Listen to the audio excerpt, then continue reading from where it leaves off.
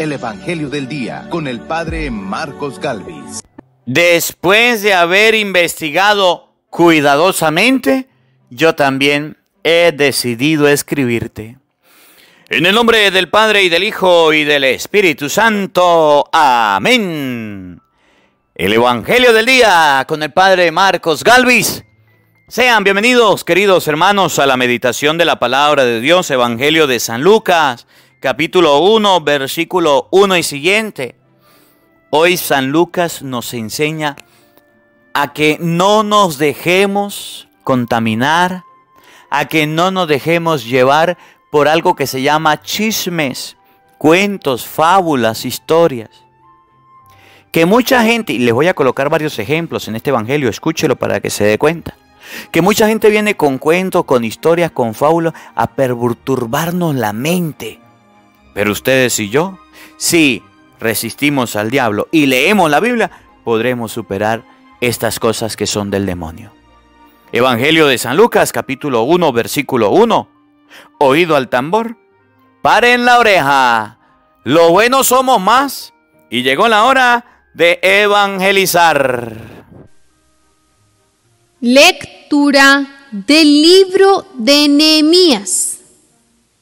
En aquellos días, Esdras, el sacerdote, trajo el libro de la ley ante la asamblea formada por los hombres, las mujeres y todos los que tenían uso de razón. Era el día primero del mes séptimo, y Esdras leyó desde el amanecer hasta el mediodía en la plaza que está frente a la puerta del agua, en presencia de los hombres, mujeres y todos los que tenían uso de razón todo el pueblo estaba atento a la lectura del libro de la ley. Esdras estaba de pie sobre un estrado de madera, levantado para esta ocasión. Esdras abrió el libro a la vista del pueblo, pues estaba en un sitio más alto que todos, y cuando lo abrió el pueblo entero se puso de pie.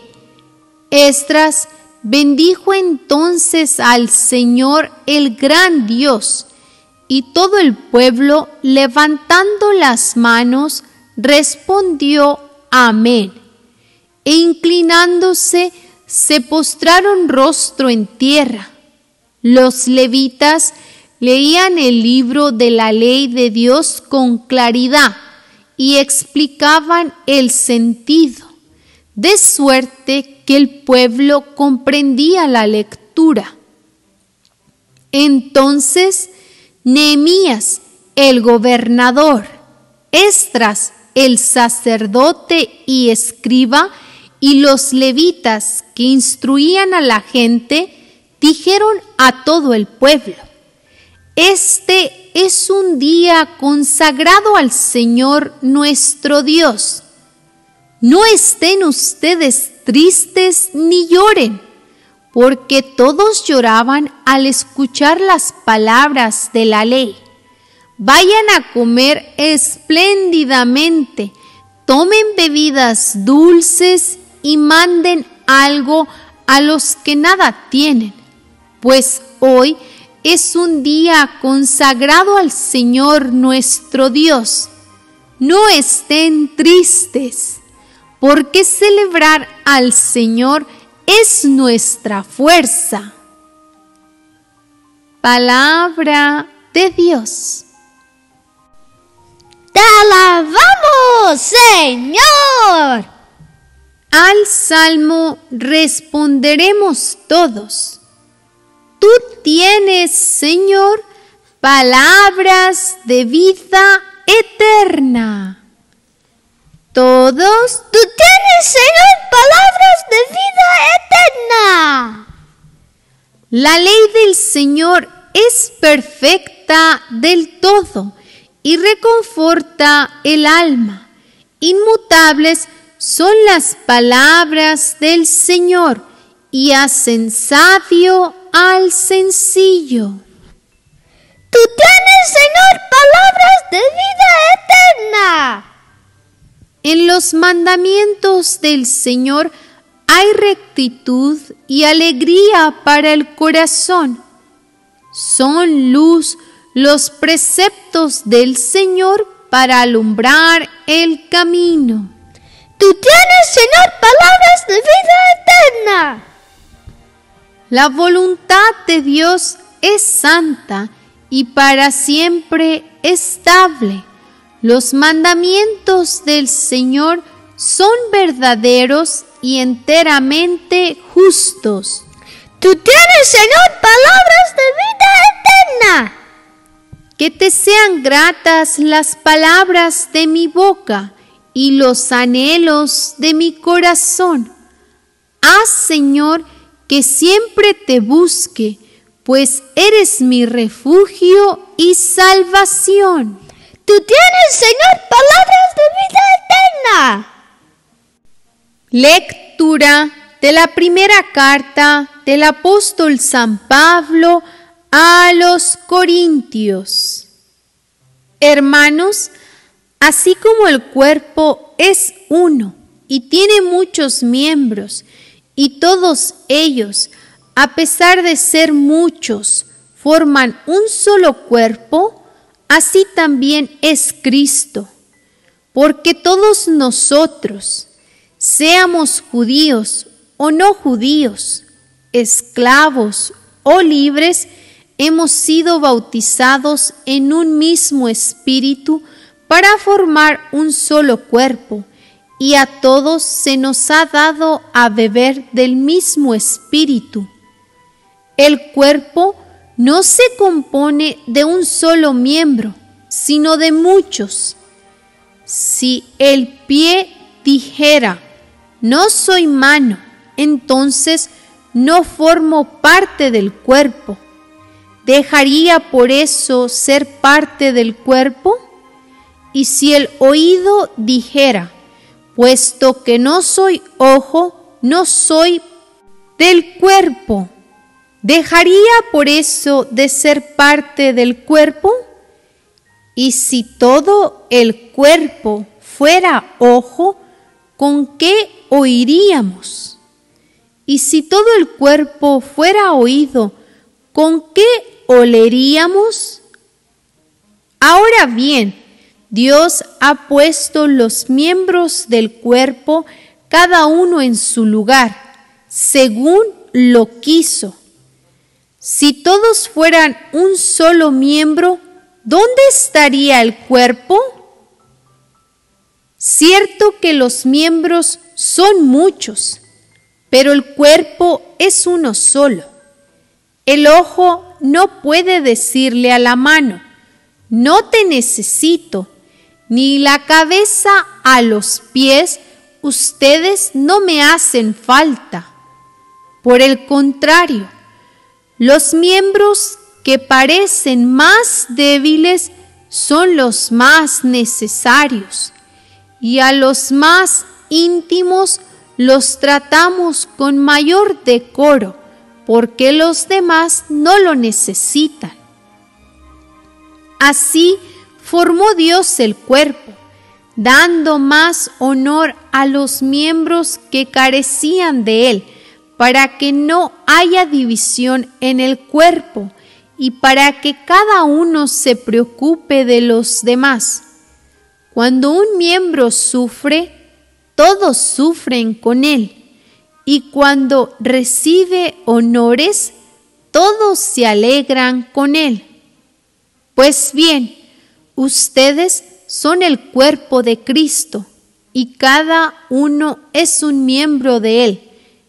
En la iglesia, Dios ha puesto en primer lugar a los apóstoles en segundo lugar a los profetas, en tercer lugar a los maestros, luego a los que hacen milagros, a los que tienen el don de curar a los enfermos, a los que ayudan, a los que administran, a los que tienen el don de lenguas y el de interpretarlas. ¿Acaso son todos apóstoles? ¿Son todos profetas? ¿Son todos maestros? ¿Hacen todos milagros? ¿Tienen todos el don de curar? ¿Tienen todos el don de lenguas y todos las interpretan? Palabra de Dios. Te alabamos, Señor. Aleluya, aleluya. El Señor me ha enviado para anunciar a los pobres la buena nueva y proclamar la liberación a los cautivos. Aleluya. El Señor esté con todos ustedes. Mis hermanos, les anuncio la buena noticia de nuestro Señor Jesucristo según San Lucas. Gloria a ti, Señor.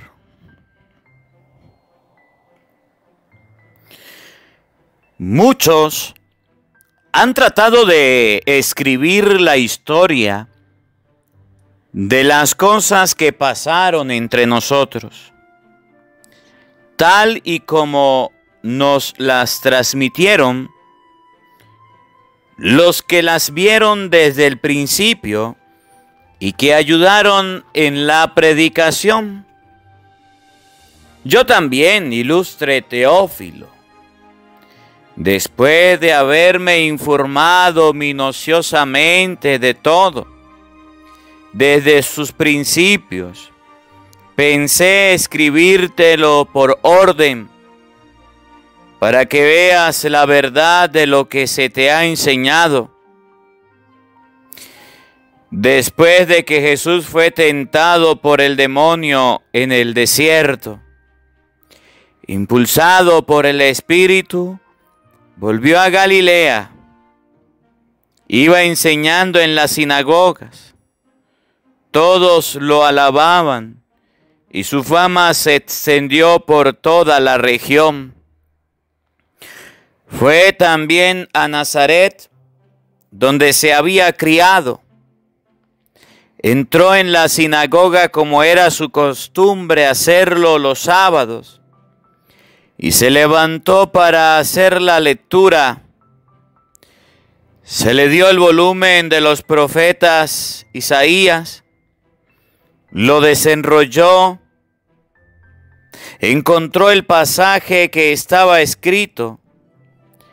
El Espíritu del Señor está sobre mí, porque me ha ungido para llevar a los pobres la buena nueva, para anunciar la liberación a los cautivos y la curación a los ciegos, para dar libertad a los oprimidos y proclamar el año de gracia del Señor. Enrolló el volumen lo devolvió al encargado y se sentó. Los ojos de todos los asistentes a la sinagoga estaban fijos en él.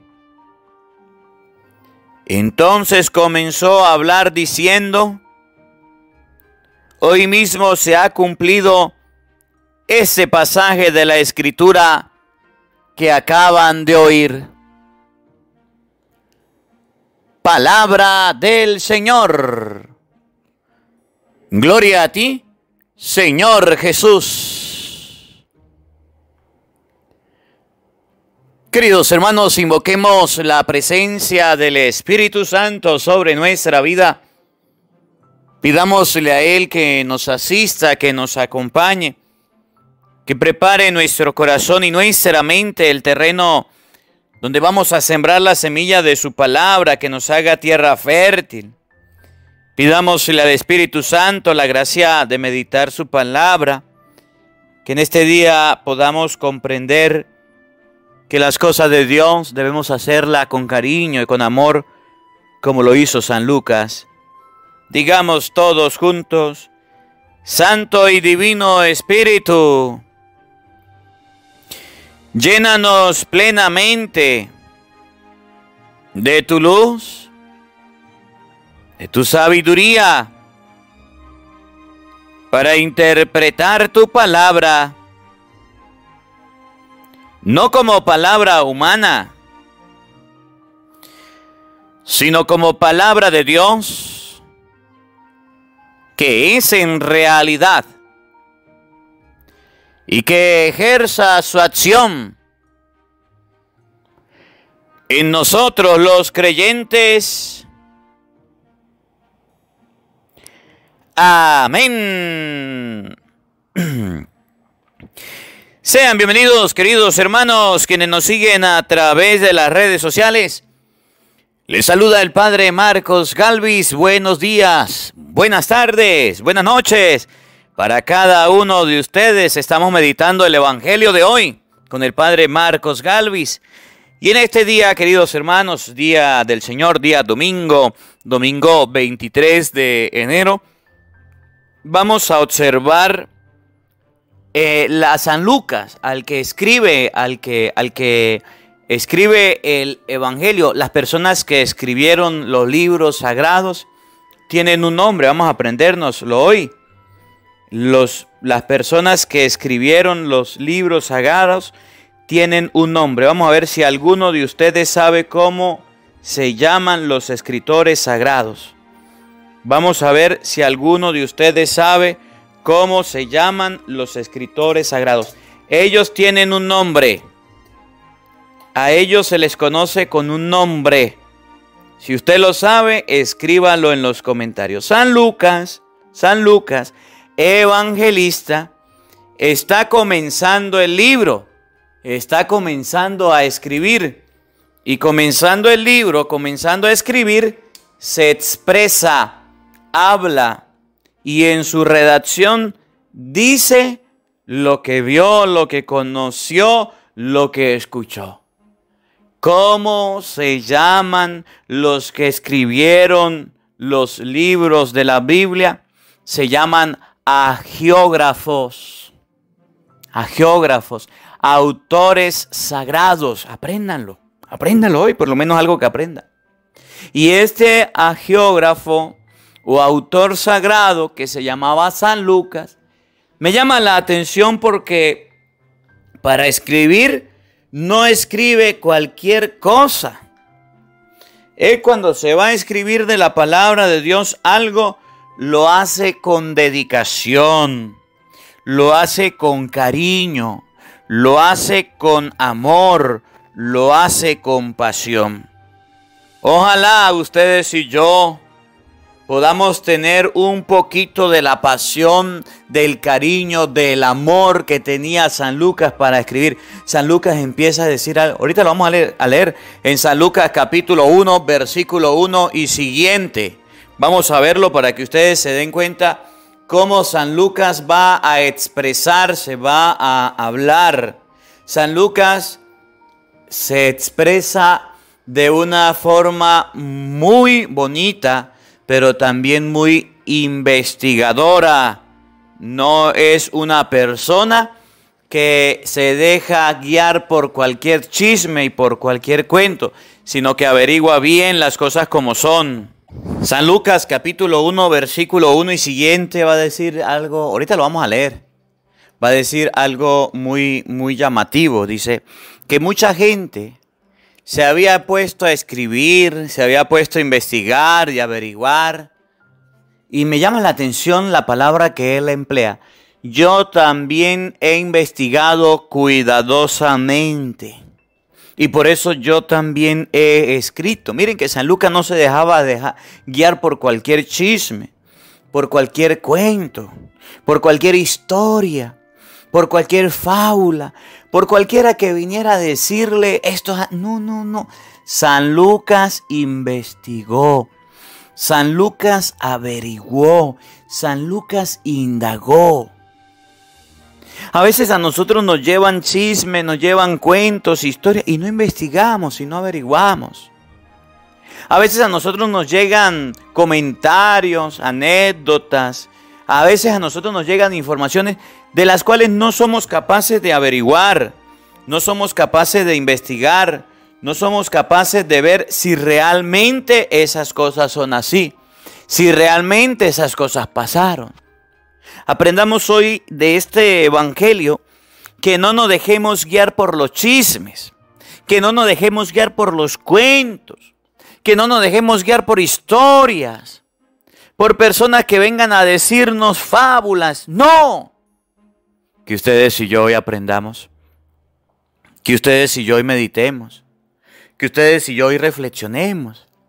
Que ustedes y yo hoy recapacitemos y digamos, cuando me llegue una información, quiero probar si es verdad. Quiero probar si es mentira. Bueno, y los medios de comunicación hoy día se han prestado para estas falsas noticias, para falsas informaciones. Bueno, la gente hace un flyer, hace un pendón, hace una pancarta de cualquier cuento, de cualquier historia, de cualquier ocurrencia. Y peor aquellos que le creen. Peor aquellos que caen en esos cuentos y en esas mentiras. Y me llama la atención porque San Lucas dice, Jesús fue tentado por el diablo. Jesús fue tentado por el demonio. Pero San Lucas no dice, Jesús cayó en la tentación o el diablo pudo con la tentación. Los chismes, los cuentos, las historias, las fábulas que la gente inventa, dice y comenta, son tentaciones del demonio. Son tentaciones de Satanás. Son tentaciones que tenemos todos. Mire, cuando a uno le llega un chisme, cuando a uno le llega un cuento, o que sea verdad, que sea mentira de alguien, a uno como que le pica la lengua, ¿no le ha pasado? Como que le da ganas de hablarlo, de decirlo. Nosotros, mm, los seres humanos, somos tan imprudentes en la vida que nada callamos, que todo hablamos, que todo decimos, que todo andamos eh, difundiendo, que todo andamos compartiendo, hablando y después nos metemos en tan grandes problemas, en tan grandes dificultades que no hallamos la manera de cómo salir que no hallamos la forma de cómo salir de esos problemas y de esas dificultades. Para que eso no nos pase, para que no caigamos en las tentaciones del demonio, para que no caigamos en esos pecados de habladuría, en esos pecados de, de chismoterría, bueno, esos pecados de darle a la sin hueso parejo. Hoy la palabra de Dios nos va a decir, debemos investigar cuidadosamente las cosas y sobre todo las cosas de Dios, las cosas del Señor debemos averiguarlas con cuidado, debemos prestarle mucha atención para averiguarlas bien y no andar dejándonos caer en esos cuentos y no andar dejándonos caer en esas historias y no andar dejándonos caer en esas mentiras que la gente inventa, porque a veces la gente nos mete en problemas. Y después dice el Evangelio, después dice el Evangelio, después dice el Evangelio que Jesús se puso a leer el pasaje de las Escrituras que decía el Espíritu del Señor está sobre mí, es otro paso, el diablo nos va a tentar. Y para no caer en esas historias, en esos cuentos, en esos chismes, pues debemos leer las escrituras. Debemos meditar la palabra de Dios. A una persona que sea lectora asidua de la palabra de Dios, el diablo poco tiene éxito en la tentación a una persona que se lo pase leyendo la palabra de Dios, aunque el diablo le, tiente, esa persona poco cae en el pecado o en la tentación, porque es inteligente. Dios le da sabiduría. Sabiduría que muchas veces nos falta a nosotros por dejarnos llevar de cuento y de historia. Mire, aprende de Jesús. Dice San Lucas. Dice San Lucas en su libro, en, el Evangelio de San Lucas, dice el autor sagrado, que Jesucristo, aunque fue tentado por el diablo, no cayó a la tentación. Y cuando llegó el sábado, fue en la sinagoga y se puso a leer el pasaje de las Escrituras, la Biblia. Se puso a leer la palabra de Dios. Se puso a leer las Sagradas Escrituras. Si ustedes y yo queremos una herramienta eficaz, verdadera, auténtica, que funciona para salir del pecado, del chisme, de la murmuración, para salir ese pecado de cuentos, de historias, de fábulas, se llaman las Sagradas Escrituras. Vamos a leerla, vamos a meditarla, vamos a analizarla. A veces a nosotros ni tiempo nos da de leer las Sagradas Escrituras. A veces a nosotros ni tiempo nos da de leer la palabra de Dios. Por eso viene el diablo y hace fiesta con nosotros. Viene el diablo y hace lo que quiere con nosotros. Viene Satanás y hace cualquier cosa con nosotros. Y nosotros ahí caemos en los cuentos, en las historias, en los chismes, en las fábulas. Ahí caemos en los engaños del diablo. Porque como no tenemos tiempo de leer las escrituras, somos presas fáciles para el demonio. Vamos a meditar San Lucas capítulo 1, versículo 1 y siguiente, para que ustedes y yo aprendamos en este día, primero a discernir la información que nos llega, a discernir la información que nos llega, que no andemos de chisme en chisme. En segundo lugar, vamos a aprender que el diablo nos va a tentar y una de las formas de la tentación que nos llega son los cuentos, las historias, las, las cosas que, las informaciones, las noticias. Que nos pique la lengua para que vayamos a hablar y decirlas. Y en tercer lugar vamos a aprender, escuchen bien, presten atención queridos hermanos, vamos a aprender que Jesús leía la Biblia que Jesús no era ajeno a las sagradas escrituras. Aunque era el Hijo de Dios, también leía la palabra. Oído al tambor. San Lucas capítulo 1 versículo 1 y siguiente. Paren la oreja. Muchos han tratado de escribir la historia de las cosas que pasaron entre nosotros, tal como nos las han transmitido los que vieron desde el principio y que ayudaron en la predicación. San Lucas dice que en su tiempo había muchas personas que trataban de decir lo que había pasado con Cristo, cómo habían sucedido las cosas desde el principio, cómo habían pasado, cómo habían sucedido, quién era Jesús, dónde vivía Jesús, quién era su mamá, quién era su papá, quién era su familia, los milagros de Jesús, las acciones. los historiadores empezaron a anotar, a escribir, así como hoy día empiezan las especulaciones, empieza la habladuría, empiezan los chismes. Y San Lucas dice, puesto que muchos han intentado escribir las cosas como pasaron desde el principio, de los que fueron testigos cercanos, oculares, pues yo también se las voy a transmitir a ustedes. Pues yo también les voy a decir a ustedes las cosas. Fíjense, cuando San Lucas dice esto, era porque había mucha gente que estaba escribiendo, que estaba anotando. Entonces uno decían, a ver, Jesucristo, el Señor vino al mundo. Bueno, inclusive hay unos libros que se llaman apócrifos. Apócrifo significa con errores, apócrifo significa con dudas.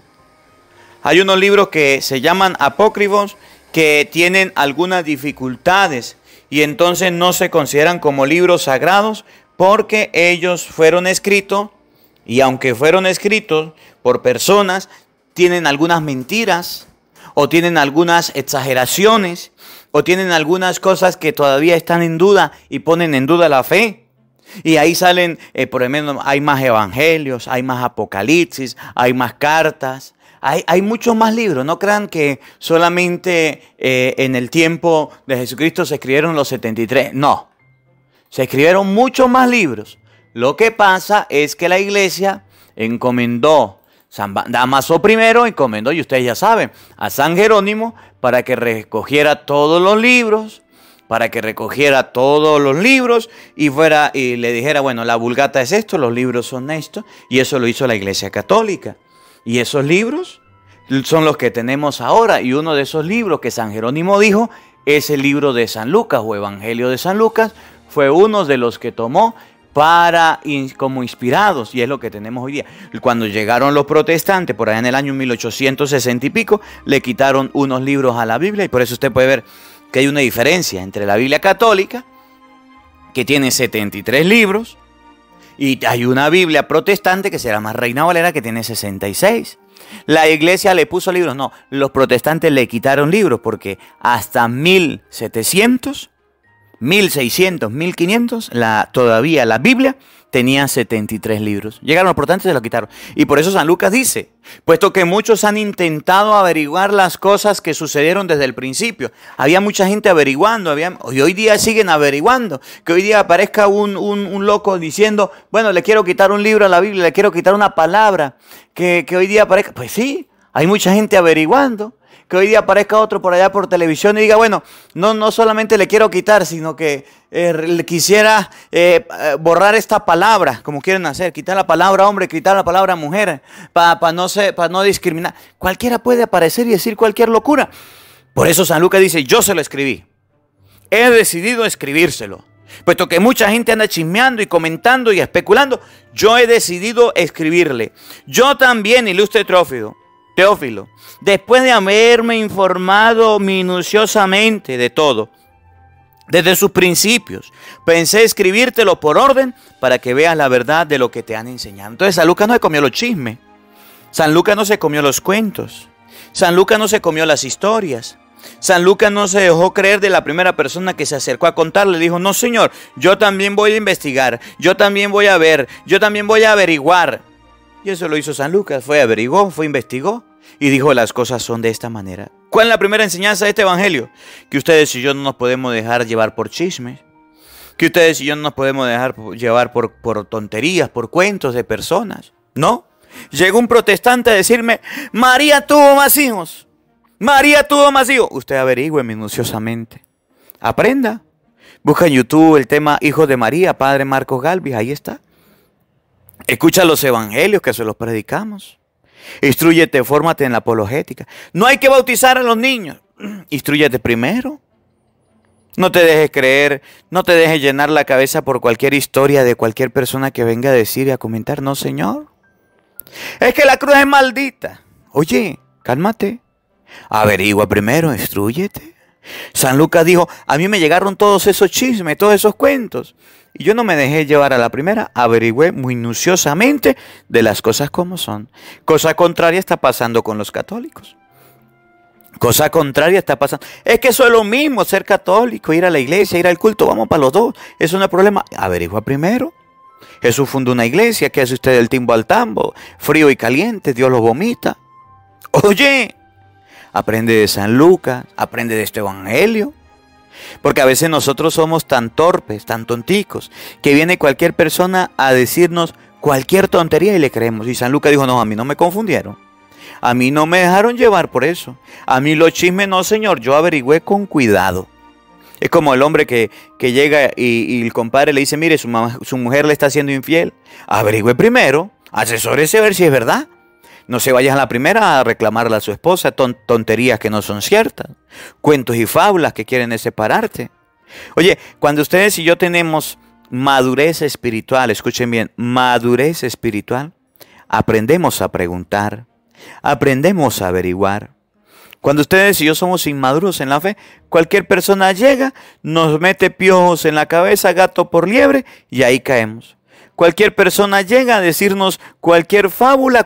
es que María tuvo más hijos, no hay que bautizarse. El Papa es la bestia, la iglesia es la ramera. Es que los católicos se van a condenar, no vamos a arrebatar el cielo. Cualquiera de esas tonterías. Y como usted es un católico ignorante, inseguro, será seguro protestante. Un católico instruido y formado como San Lucas, como creyente, no será confundido. Un católico dejado llevar por cualquier cuento, historia, fábula, por cualquier tontería de la persona, ese católico lo van a confundir. Ese católico pronto va a ser protestante. ¿Por qué? Porque no averigua, porque no investiga, porque no estudia, porque es un flojón, porque es un perezoso, porque es un católico chimbín, porque es un católico pirata.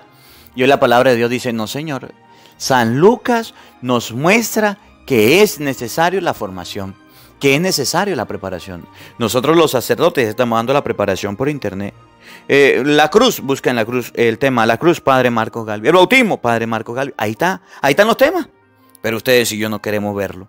Pero ustedes y yo no queremos formarnos. Pero ustedes y yo no queremos prepararlo. Y San Lucas llega a decir, muchos vinieron a especular, muchos vinieron a decir, pues yo también he decidido contártelo a ti, ilustre Teófilo, después de haberlo buscado con cuidado después de haber investigado cuidadosamente, he decidido decírtelo a ti.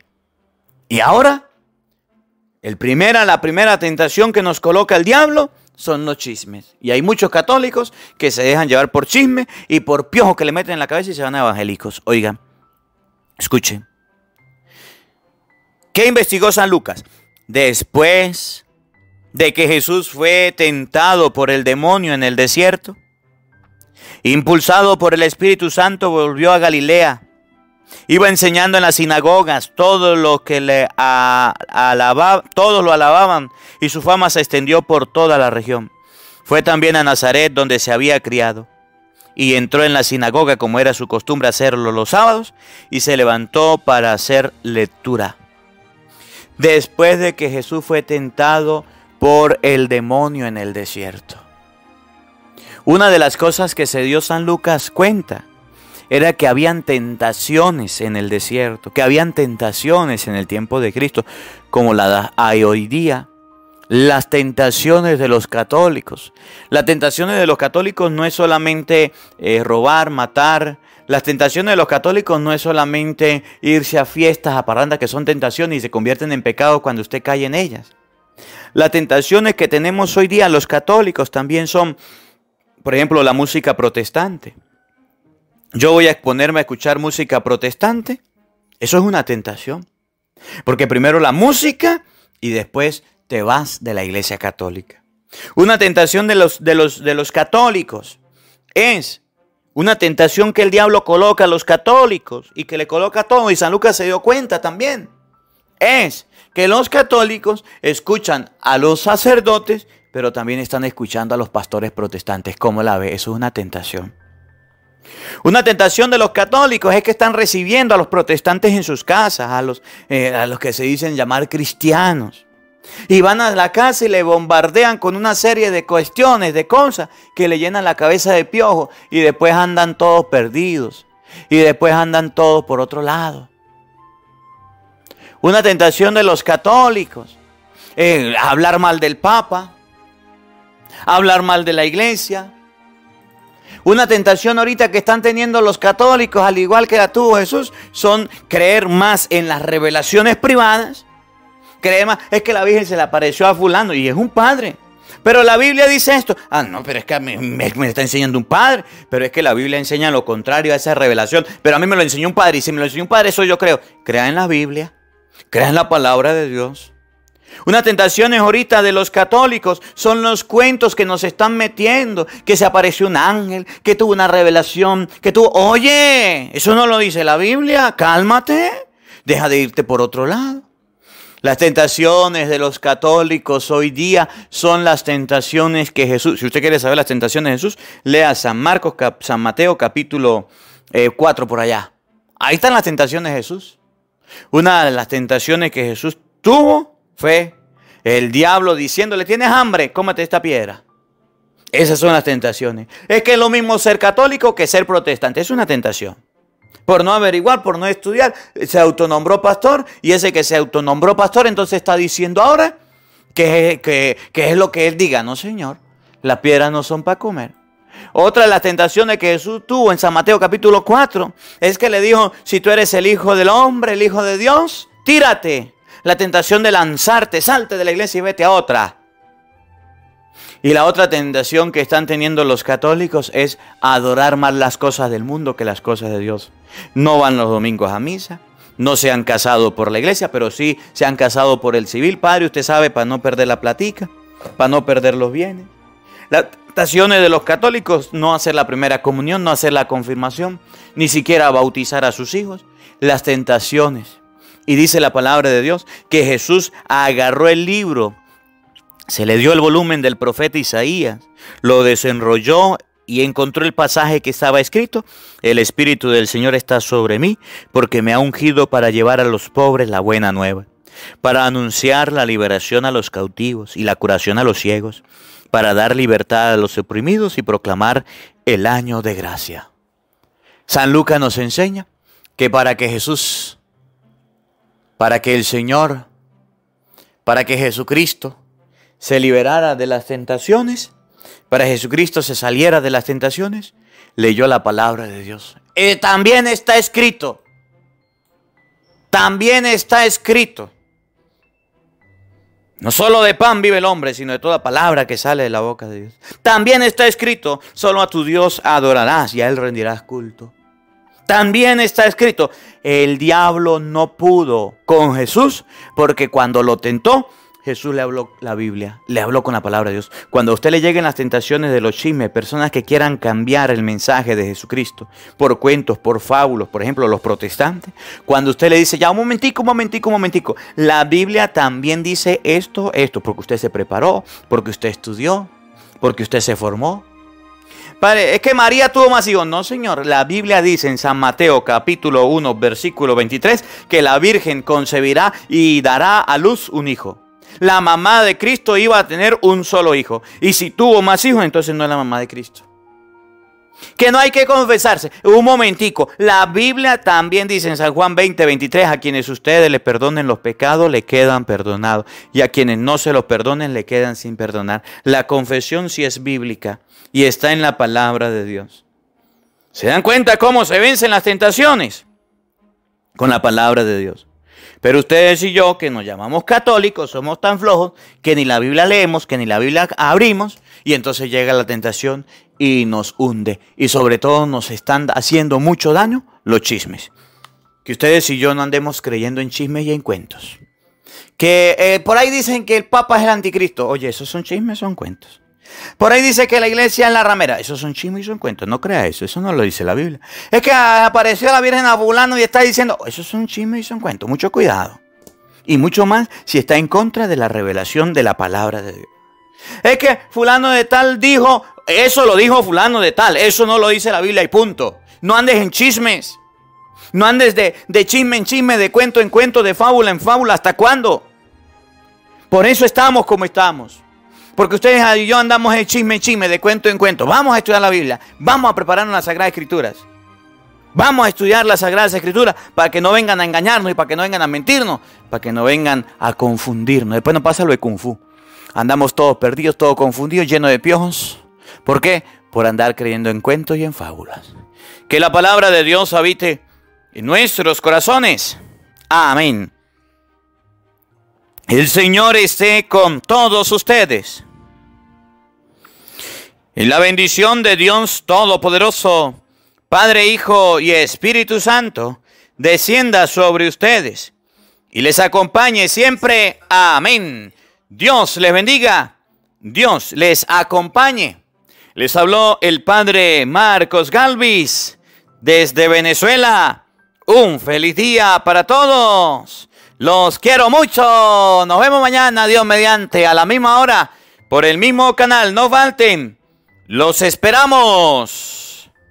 Hola, sé que te gusta oír la palabra de Dios. Por eso te invito a suscribirte en nuestro canal de YouTube, Padre Marcos Galvis. No se le olvide darle la campanita, donde vas a recibir videos, enseñanza de temas de la palabra de Dios. También vas a recibir el Evangelio del día.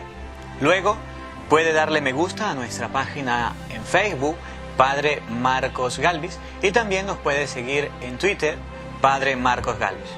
Estos enlaces los encontrarás en la descripción del video.